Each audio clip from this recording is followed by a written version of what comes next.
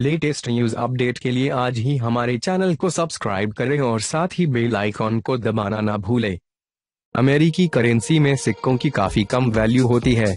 यही कारण है कि यहाँ सिक्के सड़कों से लेकर घर के कोनों में भी पड़े मिल जाते हैं। लेकिन अगर किसी के पास एक दो नहीं, बल्कि तेरह हज़ार सिक्के हों तो उसकी कीमत बढ़ जाती है। सोशल मीडिया पर एक महिला ने अपने पास जमा किए तेरह हज़ार सिक्कों की फ़ोटो शेयर की। इमगोर पर तुनिया टूनर्स ने कुछ फ़ोटो शेयर की हैं। उसने पहले सालों तक कॉपर के सिक्के इकट्ठा किए। इसके बाद उन्होंने इन सिक्कों का काफ़ी क्रिएटिव तरीके से यूज़ किया, जिसने इन्हें सोशल साइट्स पर मशहूर बना दिया। उन्होंने इन तेरह हज़ार सिक्कों को, जिसकी कीमत आठ हज़ार पाँच सौ दस रूपए थी, को ग्लू की मदद से वुडन फ्लोर पर फिक्स करना शुरू किया। उन्होंने कुछ केमिकल्स की मदद से थोड़े से सिक्कों का रंग ब्लू पर्पल और ब्लैक बना दिया, जिससे फ्लोर काफ़ी खूबसूरत दिखने लगी। उनके काम का फाइनल रिज़ल्ट काफ़ी खूबसूरत था।